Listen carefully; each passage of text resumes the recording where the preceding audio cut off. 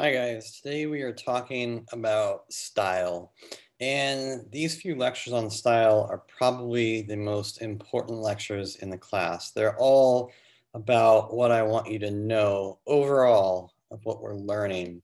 So let me show you slides of what we're looking at here. So when you put together the elements and the principles and composition, we arrive at style. Look, big style. So style is in the way in which elements and principles are employed, the result of technique and composition. So we've got Da Vinci drawings over on the left here.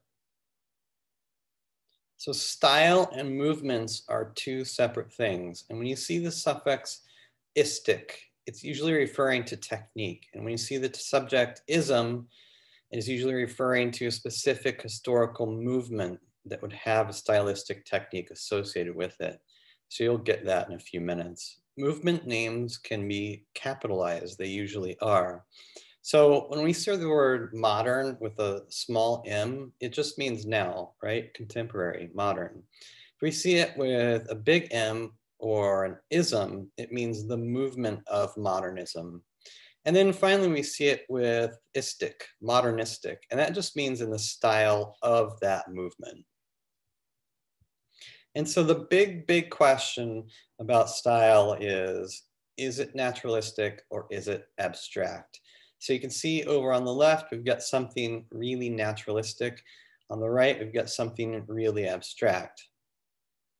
So those are the two broad categories, and we'll start with naturalistic art. This is sometimes called objective or figurative art, and depicts the perceived appearance of things. It represents, so presents again, the objects we recognize from the everyday world or objects we could imagine happening in the everyday world. All naturalistic art is representational. It could be very lifelike, it could also be very loose. So you can see on the Wayne Thiebaud painting over on the side that this is naturalistic. It's not perfect, right? The lines aren't all perfect. But it's representing real things. Again, all naturalistic art is representational. It represents the world, real or imagined.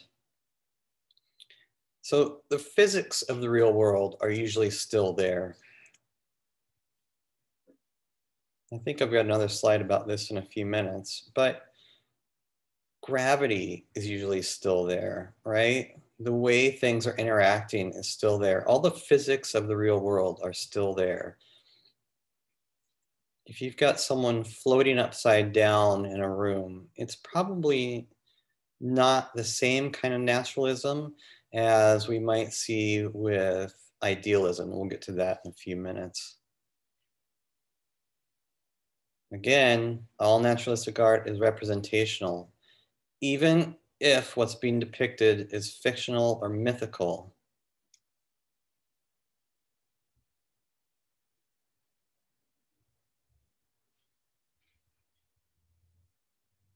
And so under that broad category then of naturalistic art, we've got quite a few other types of naturalistic art. So we divided into naturalistic or abstraction, and now we're looking at just the side that's naturalistic art. The first one I want to look at is realism and realistic. So realism was a movement primarily in the 1800s that showed common people in commonplace situations in a really straightforward naturalistic manner. Again, that doesn't mean it has to be perfect lines and photographic. It's just the people are being depicted in a really naturalistic manner. Um, anything not produced in that movement or contemporary examples of such um, that depict things in that same style are realistic and they refer to actual or lifelike depictions. So the key here though is that realism was usually not dramatic. And in fact, they often look kind of calm. It's only after you see the work do you get mood out of it.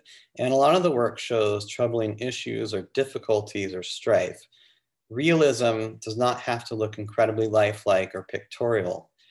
Make sure you are using the term realism and even realistic correctly. It's the most misused term in learning about art. It depicts life as it is. So here's an example from Courbet, um, the Stonebreakers. And so this is a very realistic scene and it's in the realism movement.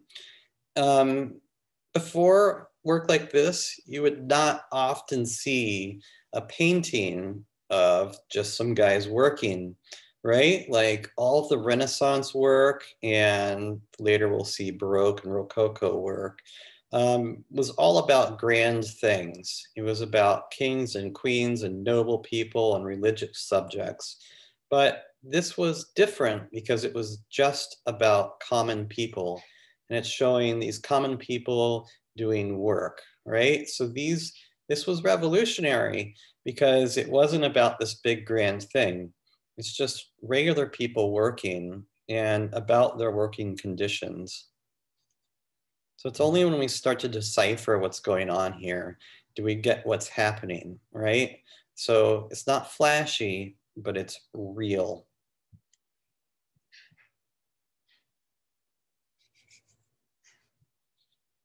They're shown without fanfare, not images of royalty. They're not famous people or events. They're not fantastical scenes.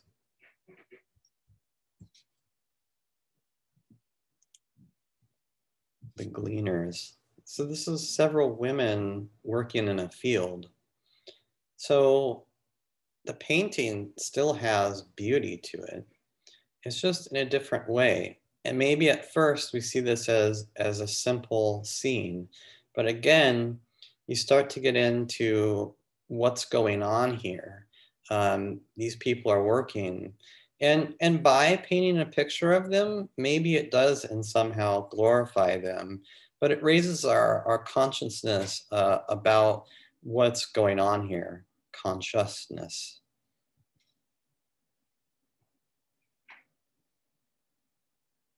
little movement happening here.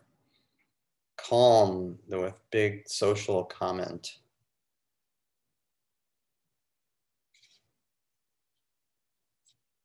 And this leads us to, to documentary, right?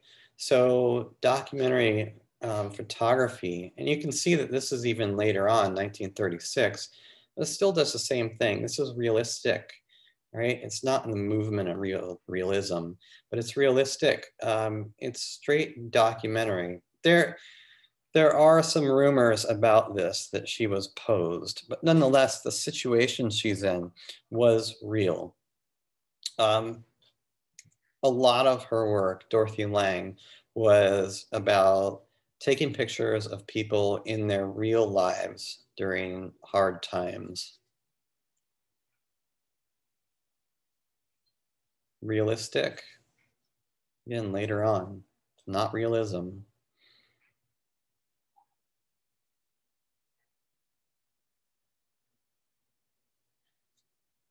Everyone isolated in the family.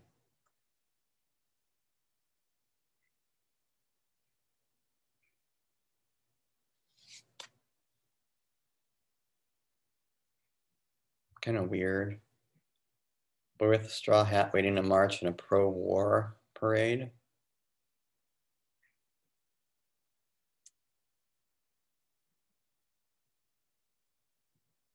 Kind of reminds me of the futurists.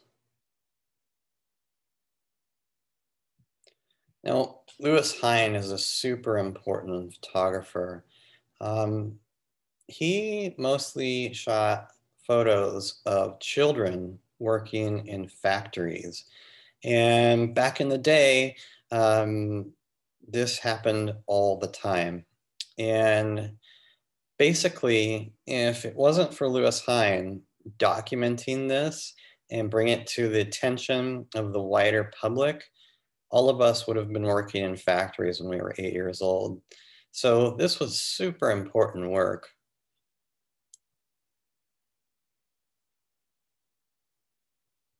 I think these are boys getting ready to work in a mine. I mean, this is crazy. Look how powerful that image is. Look, not, not a lot of movement happening here. Our eyes are directed at her by the perspective lines and the focal point on her. Not all this action going on. It's just a portrait of her surrounded by machines.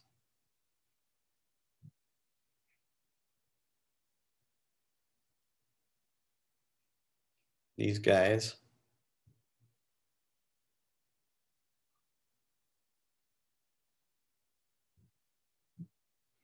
really, really, really want you to watch this. So when you go back through the slides, click on this link and watch this. It's all about Lewis Hine. Later on, after all that stuff, something different happened with his work. It's less realism, less realistic. It's more idealization.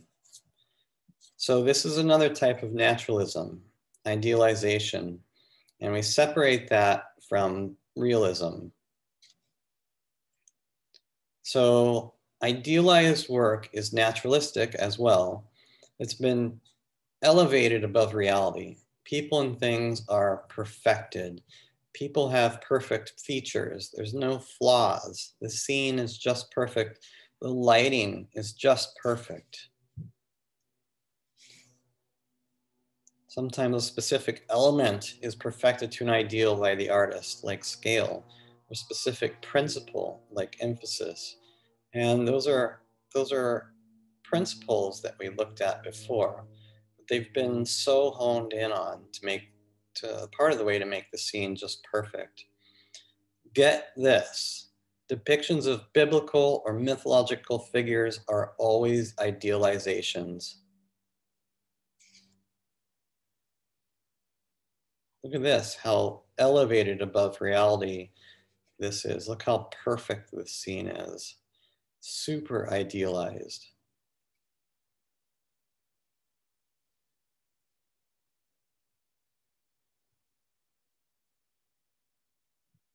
I doubt a workshop was this calm and harmonious.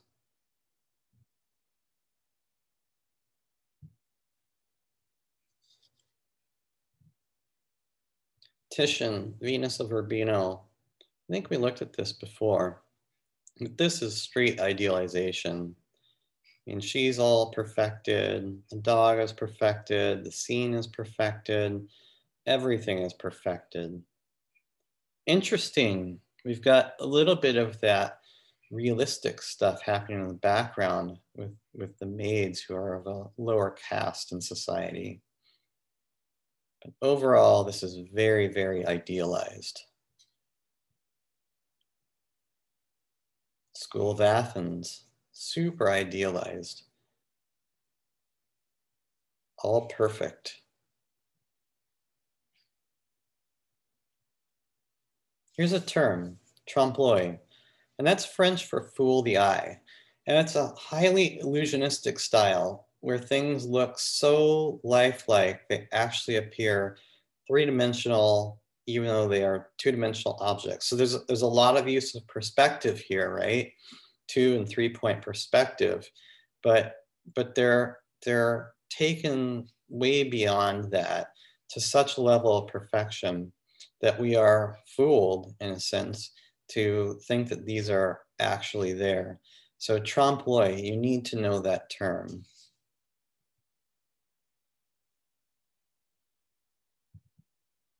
Idealization. Why would you pay to have your portrait painted if you didn't want a perfect representation of yourself?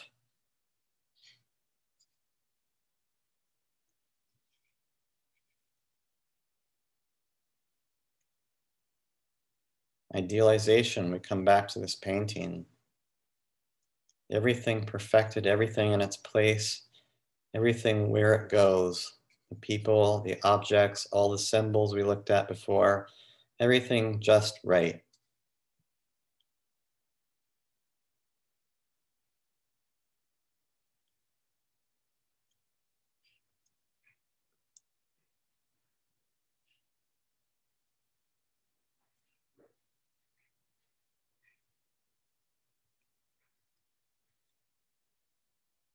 Here's an example of idealized. Go to Vogue.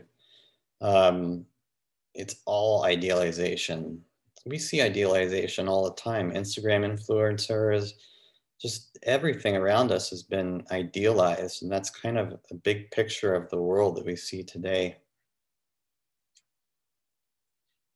All of Hollywood, right? Big films, all idealized above and beyond real life.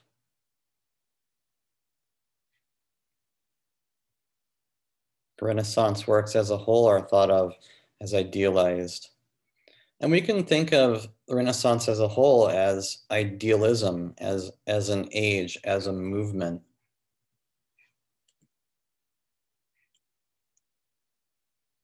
Okay. Within idealization, we also have other categories. We've got classical and we've got big C classical. So big C classical is ancient Greek or Roman artwork. So idealized sculptures depicting people and gods or goddesses and stories. Little c classical with the small c's work produced after Greek and Roman times that revisits these ideas. So Many government buildings in the US and around the world have columns and look like they're from Greek architecture. We would call that neoclassical. So they're new versions of classical ideas. So classical would be Greek sculptures, Roman sculptures. Little c classical would be new versions of those ideas.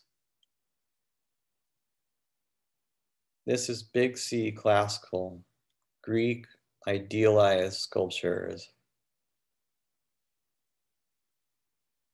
580 BC, Sanctuary of Apollo at Delphi, actually a Greek building, big C classical. Here's some, some terms. When you see 580 BC, that means before Christ. The new word for that is BCE, which means before Common Era.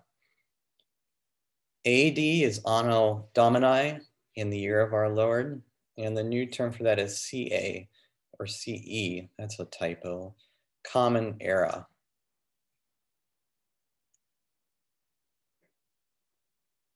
Big C, classical. Big C, classical. Little c classical. This was made in the Renaissance to protect an image of, of the perfected human form. So much like big C classical work depicted idealized human forms. Other way, in other words, this is a continuation of the idea, but it's not big C classical. Neoclassical small c classical.